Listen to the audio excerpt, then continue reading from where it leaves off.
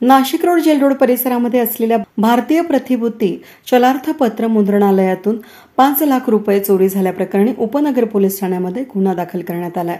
या प्रकरणी पोलीस उपायुक्त विजय खरात सहाय्यक पोलीस आयुक्त समीर शेख उपनगर पोलीस ठाण्याचे वरिष्ठ पोलीस निरीक्षक अनिल शिंदे यांनी भारतीय प्रतिभूती चलार्थ पत्र मुद्रणालयाची इथे येऊन चौकशी सुरू केली असून त्यांनी प्रेसच्या वरिष्ठ अधिकाऱ्यांची भेट घेऊन चौकशीला सुरुवात केली आहे. यामध्ये येथील कामगार स्टाफ किंवा सिक्युरिटी यांच्या चौकशीमधून पाच लाख रुपये गेले कुठे याचा लवकरच उलगडा होणार आहे.